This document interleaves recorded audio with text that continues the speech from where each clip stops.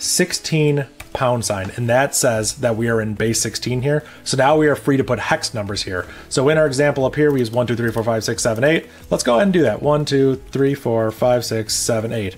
So if we run this with that number, it should output it in binary, and we can test that by piping the whole thing to XXD. So we get 7, 8, 5, 6, 3, 4, 1, 2. That's right. That is what we wanted. That is correct. We took that number one, two, three, four, five, six, and then we formatted it as little endian. So you can see that's kind of backwards looking, but not quite. Seven, eight goes up, five, six goes up, three, four goes up, one, two goes up. There we go. That is how we write 32 bit little endian numbers to standard out in Bash. Now we have this amazing function. We can use this and we can start making some forward progress. So let's do that. Let's start making some progress here.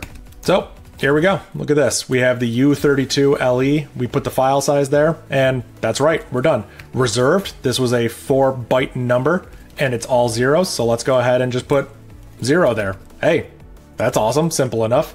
The data offset. This is the file offset to where the raster data actually is. This is where the pixel data starts. Luckily, we stored that as pixel data offset. So let's go ahead and put that here. 32LE pixel data offset. See, this is the benefit of doing all that work ahead of time. Now we have these helper functions where we can just put them here and they're just going to write raw binary. How beautiful.